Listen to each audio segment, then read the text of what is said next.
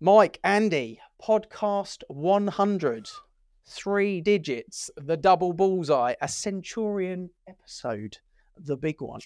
This is podcast 100, the 100th episode of what was the landlord page podcast, but is now the investors corner. So, first of all, congratulations on getting there. Yeah, well done. Well done, everyone. Well done, us. Round of applause. if you're listening, that was a champagne bottle. If you're watching, you see it as just sound effects. But um, amazing, really, all round, Mike. Yeah, we've had a lot of really good guests on, a lot of horrendous cuts of hitting the virtual floor, I think, around Martin's desk as well. But it's been a lot of fun, and uh, we've met a lot of good people along the way, haven't we? Yeah, absolutely. You know how many guests we've had, Andy. I do. I was waiting for that. Wow. Yeah. Stats. Seamless. It's almost like we've done get- 100 podcasts. Ready to get stuck in with the stats. So, first episode. Any ideas? Well, I know because I helped you Well, find yeah. the data, but Mike? ask Mike. First guest. First episode dropped. When was it? When, When was was it? Uh, I'm going to say it was August 2021. Oh, close. September 2021. We probably recorded it in August. I'll take the point. To be fair, it was the 30th, so 30th, yeah. it's not bad. It's That's- not bad. So, yeah, 30th September 2021, our first That's episode birthday. Dropped. Happy birthday to Oh, there you go. Happy birthday. I don't think we sang on it, but No. it was a good one. Um, first guess, Mike, putting you on the spot again. Who do you think? I actually guessed this right, to be fair. Yeah, you did. Akil Mayer. Oh, well done. Absolutely. Knowledge, two points. Absolutely the Burr nailed. episode. The Brr. Yes, Yeah. the B R R R R. He threw a few extra R's on it, but yeah. Can you remember what all the answers? remember? Buy, refurbish, refinance, Rent, rent, rent, refinance, repeat. repeat. That was the extra R. There you go. Nailed. So yeah, first first guess, Akil from our mortgage broker, where yeah, we discussed the brr.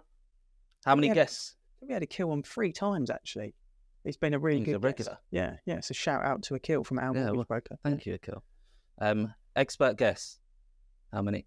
How many How many? out of a 100? 57. No. You looked at me like I hit that as well. No. Gave me hope. 71 Oh. expert guests in total. As a percentage, Is that 71 episodes with guests or 57 different guests? seventy-one 71 episode, episodes with, guests. guests. I reckon we've done 57 guests. As a percentage, how many is that What, 71? of hundred? Well, 70. Come to the numbers, guys. Or is it? So we've one out. I nearly had him though. He's Yeah, like, yeah, oh no, he's put me on the spot. Really, I I was haven't- like, Where's my hang on a Casio minute, what's going on MX85 when I need it? Um, so stats then. So episode downloads, we've had over sixteen thousand five hundred downloads in total. Heading towards twenty thousand. Yeah. heading towards twenty thousand. We're now hitting one thousand five hundred downloads a month, And that's just audio, right? just audio. And then we've got on YouTube and video watches, we're looking at about over hundred thousand watches now on social media. Thanks for watching and listening. Yeah. So Pretty yeah, awesome. big shout Pretty out to awesome. you. Thank you. And review stats then. So looking at our reviews on the podcast, we're sort of five stars all the way, Nice. really. So just wanted to Out of how many stars? Out of five. Good. That's good. five out of five. There you go. Um, so just want to read some of those some of those reviews out. So I've got one here that says I listen to a lot of podcasts and it's good to have something refreshing and a challenger brand doing something different. Keep it up, guys. Thanks, Mum. Yeah. Yeah. Another one, there are a lot of property shows available to listen to, but many of them are putting the marketing agenda first.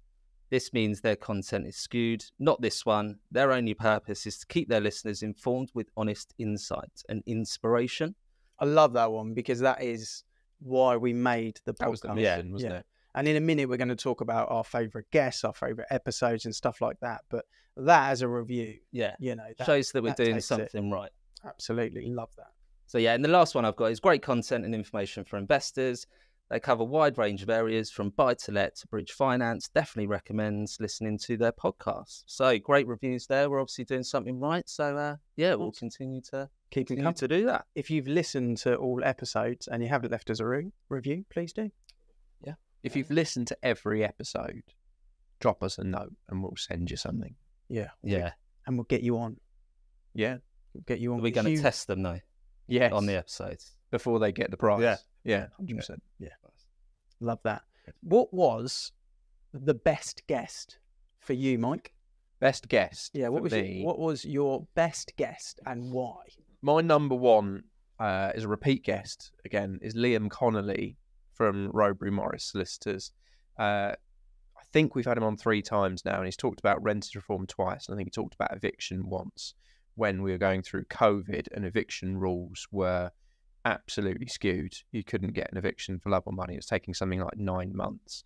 Um, Liam comes in, MacBook in hand, suited and booted as if he's about to walk into court Yeah. to give someone the absolute facts and truths. And he spent time reading the entire renters reform bill from cover to cover, taking notes, putting it in in human layman's form Yeah. to then regurgitate for everyone to listen to so we didn't have to do that hard yards for him out of the goodness of his heart and dispelled a huge amount of it into just saying well it's literally just a change of circumstances and a change of writing change of write up there's nothing in this to worry about whereas the press are going wild. So i thought he was the best guest for me because just the pure information that he gave people and the way he gave it was just totally disarming for the the other mainstream medias. I was worried, if I'm honest, hosting that one when he walked in. I thought, oh, I, I am a bit out of my depth but he just explained it so well that me and him were having a really good conversation that related to a lot of people that are listening, my own personal situation. And he just made it really clear. And that was only a couple of weeks back. So if you haven't listened to that one, scroll back, Liam Connolly, Rowberry Morris, check it out. Renters Reform Bill. Absolute class act of an episode. That one was really good. What about you, Andy? So I think my mine would have been Lee Curtis when we were talking about land planning and, and the way that he went into detail about how to value land. So I always remember him going a third, a third, a third. Yeah. So it used to be a third land value, third building costs, and then a third profit. profit. Yeah. Um, and he was talking about really that's how, how you used to base it on, but because costs have increased by 50 or 60% now, it's sort of hard to hard to value it. And when we're talking about delays in, in planning applications and sort of the big boy developers coming in, um, sort of putting the small developers to, to one side and holding on to this onto this land, I just thought that the information that he was providing Yeah. on a topic that people don't really seem to talk about a lot on how that all works. It's, for me, it gave it gave me insight to to how it works, and I sort of took information from that, um, and so yeah, built up my knowledge on Yeah. on it. spoke about planning a lot, didn't we? And I think that there is a lot of people that I talk to in the trades that have got this kind of goal to do a couple of refurbs and then get into building, get into Mm. new build, you know, kind of building two for one, that type of stuff.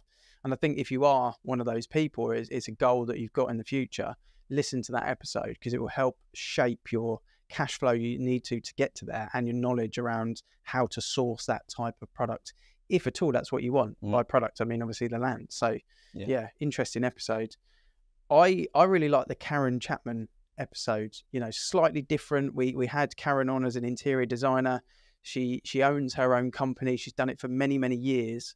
But I just felt there was so much value in that episode for people to look at things outside of balance sheets and litigation and legislation and just sharing knowledge bombs in different segments to actually just talk about look, if you're a landlord and you want to maximize your rent or you want to start creating the interior of a property or the thought behind a property that's going to make your tenant feel homely, maybe in a long winded way, it will help with void periods and stuff like that, but it's not so much an issue at the moment. But just a different outlook on how to think about things. It was a great episode. She shared loads of little golden nuggets and tips. Um, quite some months ago, that one now. I think it was early part of the year if you're Mm. looking for it. But Karen Chapman, really, really good episode. What was your number one personal takeaway, Mike? What was the one thing that I mean, we've been privileged, right? Because we're sitting on here, Yeah, you know, getting a lot of information, aren't we? We just invite people in that we want to know things from. Yeah. yes, um, and just assume everyone else will. Does yeah, too. I mean, if we if we want to know, then hopefully someone else does too. And that's some genuinely jokes aside. That's how we book guests. So Yeah. just a reminder to people who do listen, if you want to know how something works, then Mm. just prod us and we'll try and book a guest that suits you. Because if you're thinking it, chances are someone else is. Mm. Um, personal takeaway is, I think it's last week's episode with Nelly. Um, so it's fresh in the mind about how to split your income into what should be your day to day costs of housing yourself and keeping your family, having a, an allowance almost for for fun money and, and an allowance for, for saving. It's a very basic principle, Mm. but it's something that I reckon only a tiny percentage of people live by. And I went home and I started Googling it and looking at this, that, and the other. And you read the percentage of Harvard graduates that set a target is only about 3% out of a graduating class in the top university in the world. But that 3% owns something like 97% of the wealth of their entire class. So it says if you set a target, if you set a goal, if you set a business plan, Mhm. You might not always reach it, but you're going to go way faster than way further than anyone who never does any of it. Yeah. Um, which just rang true to me. Yeah, and I think with business and how we've grown, you know, the company that we've grown, we were very strong and clear on what our targets were, what our objectives were, and we went out and we hit them. But sometimes you put your own personal life and that aspect of it, fitness goals or you know goals that you've got to go on holiday with the the missus or whatever it may be, weddings and stuff like that, big milestone birthdays. Of course, you have those and you have your goals and aspirations, but that day to day thought process of am I investing 10, 15, 20% of my income on a monthly basis to allow it to compound?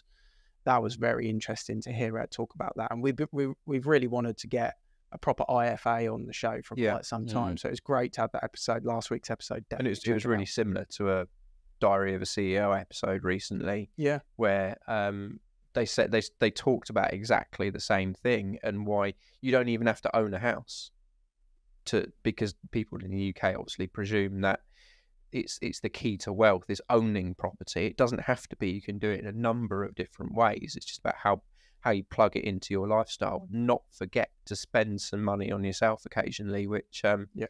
Which our accountant reminded us of after after our second year in business. So Yeah.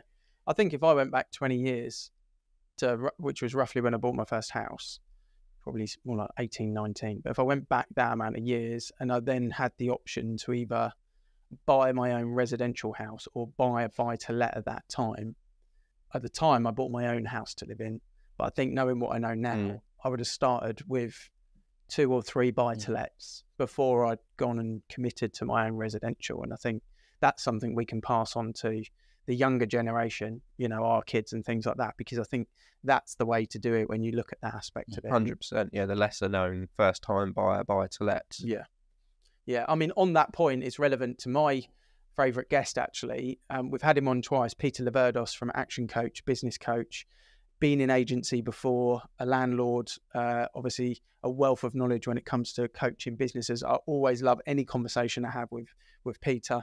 And on the episode, it was a real eye opener for me because, in the same way, he was talking about your your investments, you know, your your buy to lets and your other investments do you have those set up in a profit and loss strict setup, be it Excel or another program, like you do for your business? You know, we're sh- we're quite strict on our profit and loss sheet. We review it quite frequently. We make sure that we're getting good ROI and returns on things. We know what the goal is. We know what the cash flow sits at. We know our cash flow targets sit at within the business.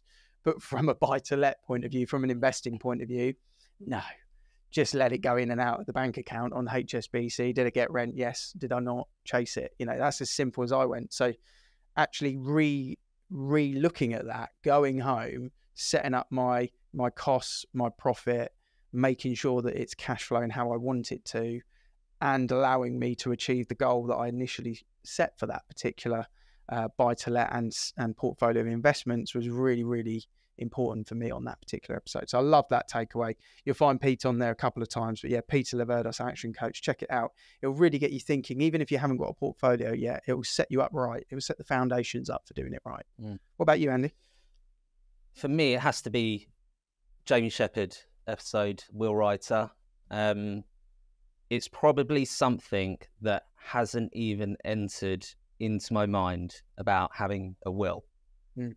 Because when you're young, you don't really think about right at the end of it. What do I need to set up? Where's my assets going, etc., etc. And we all know there's something, you know, something could happen to us tomorrow, a week's time, a couple of years' time. Touchwood, hopefully not. This isn't wood. Don't get over yourself. um, but yeah, it was just that that episode really sort of honed in on me to right. I need to get everything set for my family in case of the worst of the worst outcome. Yeah. you know, with my assets, um, my, my investments, all of that sort of stuff. It it it wasn't going to going to anywhere. Yeah. Um. So yeah, Jamie J- Jamie's episodes and the, with the information that he provided just sort of nudged me into right. Let's get everything set. Let's get everything put into place, ready for when that moment happens that I'm no longer here. Then it's all. It's a hard, he's a hard combo to have, but it's so relevant. I mean, protecting your loved ones is effectively his tagline for Soteria planning. Mm. And I think that that kind of dictates it really well. Is we're talking about how to make it work, the knowledge you need to make it work, what the goals are, what the Mm. plans are, how do you cash flow it, you know, what your outcomes, little extra knowledge plugins, how to secure yourself with legislation changes, you know, from Liam. But then at the core of it is are you looking after your kids and your family and your friends and the people that are going to um, be rewarded with all of your life's hard work when life Mm. comes to an end. So, you know, great, great episode. He's been on twice and, and both times, you know, talking about um, celebrities that have passed away without wills and, Yeah. and what's happened there and celebrities that have passed away with trusts in place and how they've managed to mitigate all tax for, for multi-million pound portfolios is, is a, is a cracking And episode. then I think just just on the will side of things, it's you know getting a proper will in place might seem costly to some people because some people do it online and you know get it for fifty quid or Yeah. something like that. But actually, when you speak to a professional will writer that does it does it day in day out, and he starts explaining some of the things that could happen if it's not set up correctly, it's definitely worth the money to to speak to a professional and get a proper one. How much, did he, how much did he pay you for that? Because you just sold the best sales pitch of that. I've never Nothing, heard. I'll I've not heard him sell it as well. him. Actually, I've just plugged it. Affiliate Marketing 101 by Andy Brown. Uh, love that. M- my my favorite piece of education, like all around knowledge as a, of an episode, we had Ryan Power, strong name, from Pattinson's auctions, and actually just hearing about modern auctions and taking the stigma away from those kind of dodgy conference rooms with the old kind of you know hammer going down, loads of loads of guys in suits, and just a bit of a weird environment. Um, moving that out the way and looking at it as a, a modern based auction, maximizing the amount of awareness that can go to that property, the simplicity of how it operates as well. I just found that a really insightful podcast to get to know a different way that I think a lot of landlords maybe in the future will capitalize on, in particular ones that have got tenants in situ or lease related issues. And they actually think, do you know what? 10, 15 grand less for the convenience of a hammer going down, it exchanging and completing in 28 days, rather than going for a 12 month rigmarole of finding a buyer, losing a buyer, tenant moving out, void period, then the buyer pulls out, then I've got a vacant property. I just think the more landlords that exit will start to shift and actually go, I don't even pay a fee for this, for starters. The buyer pays the fee. I can take the hit on the asking price and I can just move on with my next goal.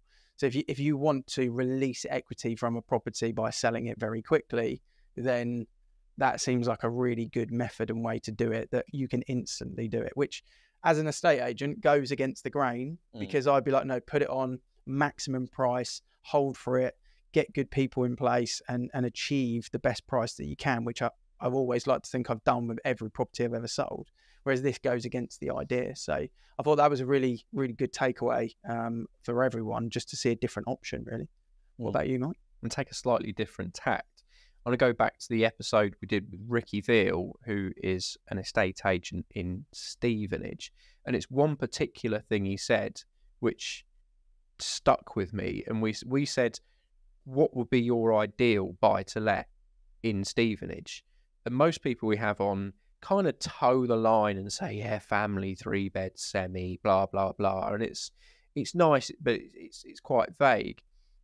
Ricky went down to say, in these specific roads, you can buy an end terrace property which has a plot on the side where you can knock through the side, add a side door, split it into two maisonette, build on the side, and add value the minute you've bought it. So it goes back to Akil's B R R R R R R R Mhm. um, And then be on the end for acronyms with build. Yeah, exactly. But it was it was it was very very special because if you if you find the right estate agent and say I want to buy a buy to let, what do you think I should do?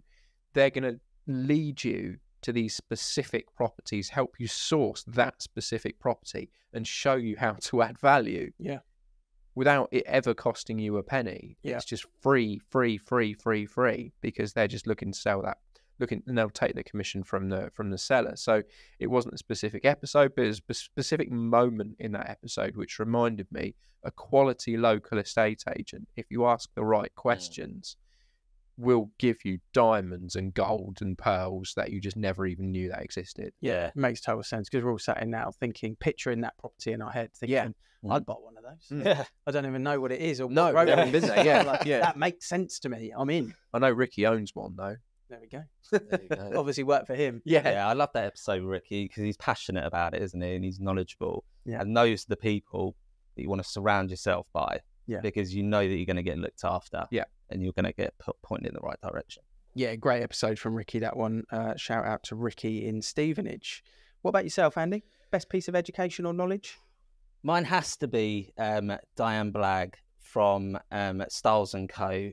Reason being is is because from an accountant perspective, when she was going on about the do's and don'ts and personal versus incorporation, um, how to plan, future for landlords and HMRC, bringing all of that knowledge to the table and that and that discussion, it's just an eye opener, um, and it provides that information for landlords on potentially how to save thousands of pounds. Yes. Um, so yeah, that I t- took a lot of knowledge from that, and I can pass that on to landlords that I speak to. Yeah. because some landlords don't really know the ins and outs of, of what they can do tax wise. So to be able to pass that knowledge on to our clients, it's it's golden. Everyone's got a personal situation, circumstance, but getting people like Nelly on that you're talking about as an IFA, getting the accountant on, Mm. getting Liam on, these are people where they can't talk to you as an individual and really offer the true bespoke advice that someone may need. But for them to come on camera out of their comfort zone and share that Mm. general knowledge with people, for us, we're privileged, like I say, to absorb the knowledge, listen to it, and, and have those conversations. But it's exactly the reason why we made this podcast 100 episodes later. So I think, yeah, shout out to the the 50 odd guests, the 71 episodes where we had guests on, the people that have come on multiple times, shout out to the guests because they've shared some absolute pearls of wisdom. Mm. And, you know, if you haven't if you haven't listened to all the episodes and you're kind of lost and you're looking for a little bit of inspiration, flick back through some of the older ones because most of them are timeless. You know, Yeah. the mortgage advisors may be slightly different that we've had on. We've had some great brokers on, um, and they might be conversations that are relevant to chronologically, but typically speaking, most of those are timeless episodes that you can just get some great advice. There's and, just uh, knowledge bombs all around, isn't there, on those? Yeah. on those episodes. favorite episode to to make, like for fun reasons. Favorite episode to make? What was the one when me and you just got the giggles and we just we just kept taking? Oh yeah, Mike was getting frustrated. I don't even know what we were talking about. yeah. What was that I one? think we were literally remember. trying to record a one and a half minute yeah. Intro. Oh, that was it. intro exit. For uh, one, It for one of was- them. wasn't it? Um, Remember to subscribe. Why, yeah, we rebranded to Yeah. Investors Corner. Oh ah, yeah, it was the so intro. it's to the supposed to be a minute long. It turned into half an hour and 28 minutes of just giggling. Mike just sitting there with a awful. Yeah. stern I felt like Roy Keane between Daniel Sturridge and Micah Richards. Frankly, I mean, I had a lot of fun. I had a good. lot of fun. I think uh, we've had some great, we've had some great funs, uh, fun ones to make. The one we did with Pooja was great because at the end we were talking about like worst case scenarios or like most awkward situations, and we all shared our story of like the most awkward situation. That was quite a lot of fun. Yeah. you know, there's some embarrassing stories at the end of that podcast that people want to check out. I love making the story one as well with the guys from um, care and what they were doing with kind of with kids in care and how they were using that from an investing point of view. That may still be our most downloaded episode. It is. Yeah. Yeah. Yeah, the story ones. That's a really interesting one. Fun one, Mike. I mean, you're normally like, I am the pinnacle of fun. Is, Yeah. is that what we were going to go to? Yeah, I, you're normally I, I straight on- for the fun Yeah. and spreadsheets. Uh, um, it's it's always enjoyable to record them because we walk away learning something that we that we didn't know before.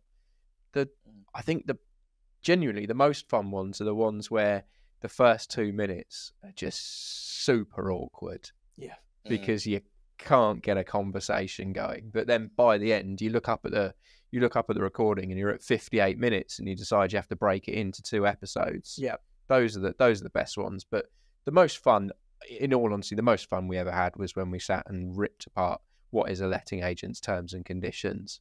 That was just Mm. it was just it was like you you were in your element. Then, oh, it was you? it was just an hour of therapy, wasn't it? It was it was just everything that had, that had ever been pushed onto you as a as a manager. I tell you what was quite fun that people wouldn't realise listening or watching, and and shout out to him as well because obviously he was he was uh, one of the initial people to come on. But Tristan, we would often sit in an episode with a guest, and Tristan would zone out very easily. The the guy doesn't sleep much, I don't think. He would zone out very easily, and then I'd come to him and say, "What do you think, Tristan?" And he'd go.